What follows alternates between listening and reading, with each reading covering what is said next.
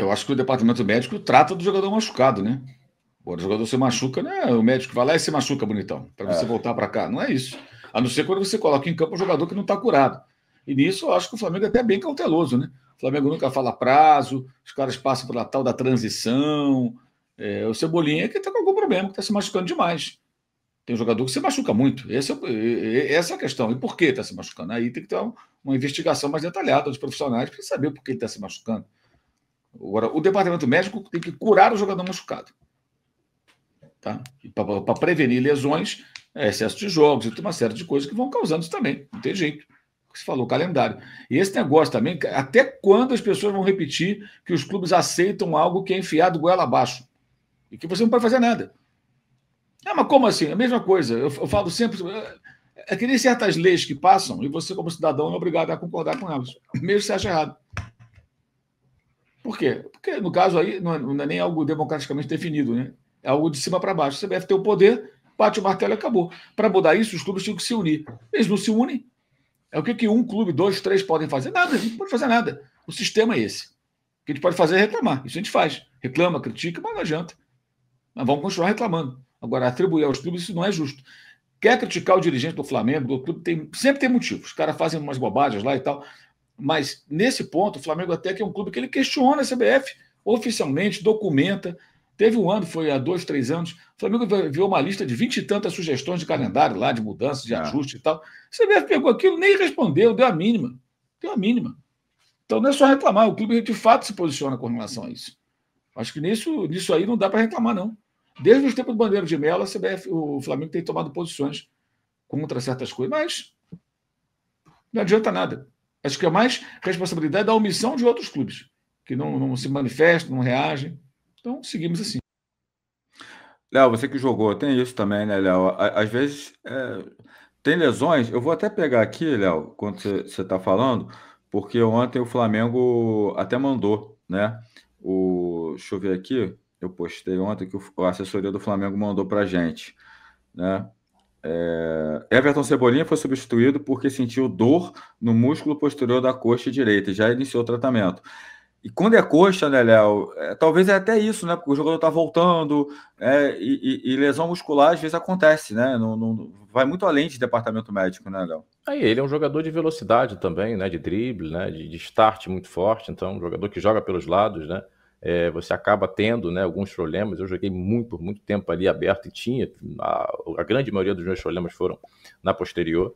É, então, é, é, algo que acontece, né? E aí entra também a, a questão do, do, cara se cuidar, né? Entra a, a carga, entra a, a, sequência de jogos, é tudo muito intenso. Né? E é aquilo que eu sempre falo, né? O atleta de alto rendimento leva o seu corpo ao limite, né? Trabalha na, na, na mais alta intensidade, né? Trabalha ali realmente no risco de, é, é das lesões, né? E aí, a, a, junto com a comissão, com o departamento médico, fisiológico, tenta administrar para te manter saudável, né? Para você estar sempre é, é, disponível para o Tite, para qualquer outro treinador ser utilizado. Mas é normal, é normal, Alan. Não dá mais numa sequência tão grande, né? Jogos desgastantes, é um Cebolinha hoje que é, é uma válvula de escape, então é muito mais marcado, faz muito mais força nas partidas, enfim. Então acho, eu, eu vejo isso com muita naturalidade. Agora é é, é, o departamento médico agir rápido, colocar esse jogador à disposição, até porque é uma peça fundamental nas pretensões do Flamengo nas três competições que está disputando. Né?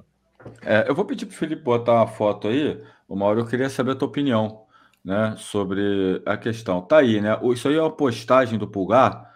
O Pulgar postou, né, depois do jogo, falando, fala, falando do lance do Rafael Veiga, né?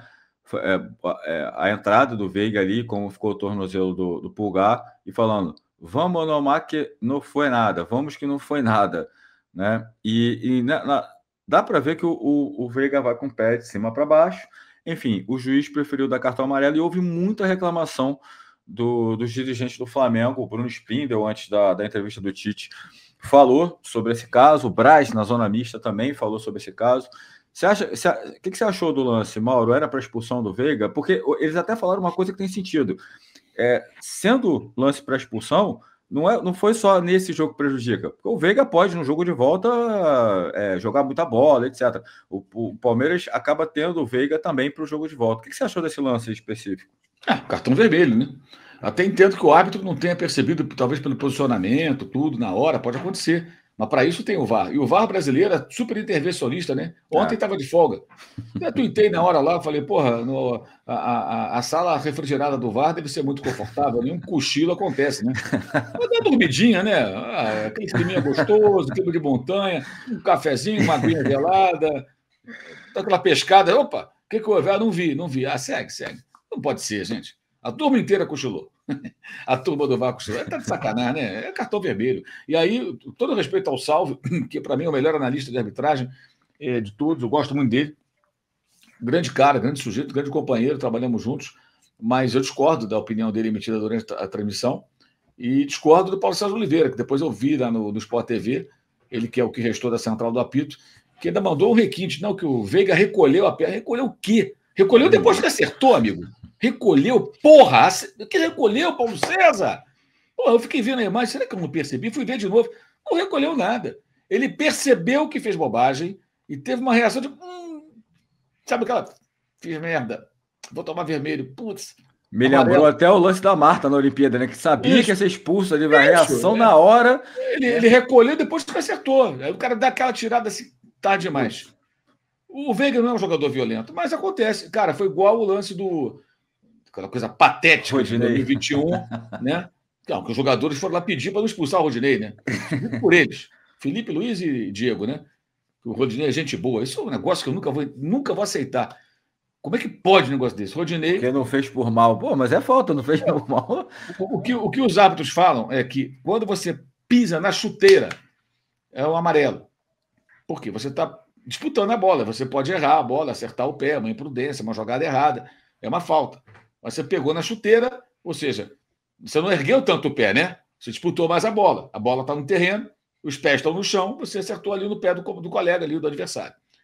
Cartão amarelo. Quando é na região do meião, a região mais desprotegida, digamos assim, costuma ser o quê? Cartão vermelho. Por quê? Você está solando o cara numa parte desprotegida e ninguém disputa a bola solando assim, né? Não, pode, não pode fazer isso. Então é um jogo perigoso, pode contundir, contundir o companheiro e tudo mais. É cartão vermelho.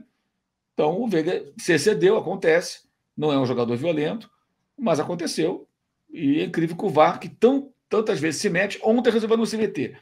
Se toda vez fosse assim, respeito a decisão de campo, entendo que isso é interpretativo, não vou interferir. Beleza, esse é o padrão? Ok.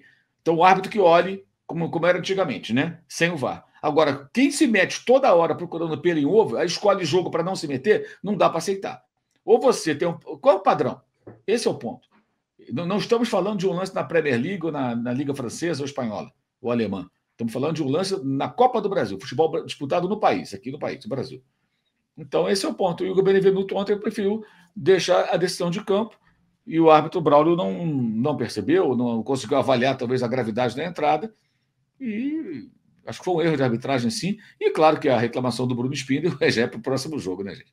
Cara vai lá já para falar para o próximo jogo, ó, não vai fazer bobagem não, estou de olho. Então é isso. Mais ou menos é. isso. Todo, todo mundo faz, né? E todo mundo faz, não é nada novo, isso é muito antigo no futebol.